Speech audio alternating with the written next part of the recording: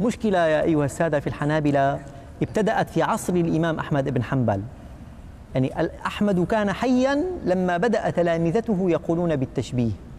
يقول الشيخ زاهد الكوثري رحمه الله تعالى العلامة المشهور يقول أحمد بن حنبل ألف مسنده وبعد ذلك رأى الناس يتحدثون بالتشبيه قضايا التشبيه. قال فامتنع عن تحديث الحديث ثلاث عشرة سنة. قال والله لا أحدث بحديث رسول الله. لأن الناس أحدثهم فيفهمون الحديث على غير المراد.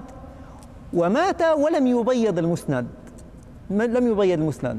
ومن المشاكل التي وقع فيها الإمام أحمد بن حنبل أن بعض تلامذته الفقهاء الكبار كانوا من المشبهة. بل إن ولده عبد الله تأثر بالمشبهة وكان مشبها.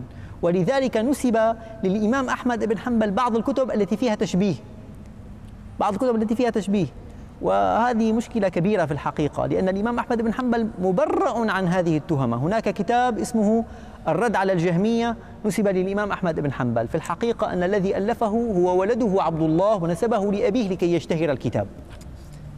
نعم حتى يشتهر الكتاب فقط. نعم. هذا الكتاب أحمد المسند؟ لا السنن. السنن سنن والله ما أعلم. سنن الإمام أحمد؟ السنن.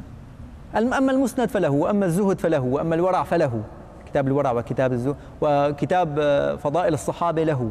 له كتب كثيرة الإمام أحمد وهي مطبوعة. أما كتاب السنن والله لا أعلم إن كان له.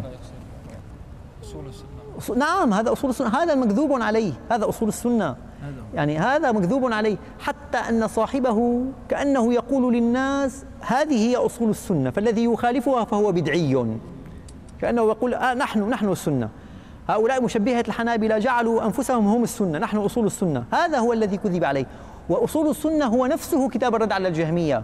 كتابان متطابقان. كان يسمى الرد على الجهمية ويسمى بأصول السنة. نعم. وأنا أبالغ وأقول هب أنه للإمام أحمد بن حنبل هب أن فأقول لا بد أن الدس قد وقع فيه.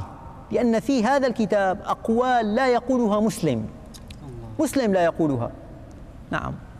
أقوال شنيعة للغاية والعياذ بالله.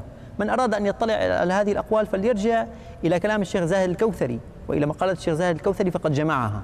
من جملة مقالاته في أصول السنة مما نسب للإمام أحمد بن حنبل قال بأن الله سبحانه وتعالى لما خلق الخلق جاء إلى صخرة كبيرة وسند ظهره عليها تعب.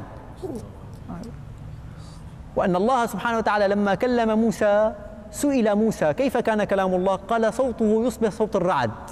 صوت الرعد وصوت ال... وسئل يعني أشياء عجيبة غريبة. وصفت المولى سبحانه وتعالى بأن له شعر وأن له أضراس. هذا هذه يعني أقوال والعياذ بالله شنيعة. نعم.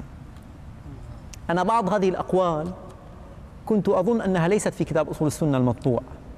فلما كنت أدرس آه، كتاب الاقتصاد في الاعتقاد في إندونيسيا سألني الطلبة أن أحرر لهم هذه المواضع من من الكتاب المطبوع. فعدت إلى الكتاب المطبوع فوجدت كثيرا من هذه النصوص في المطبوع اليوم الموجود الآن موجود في أيدي الناس.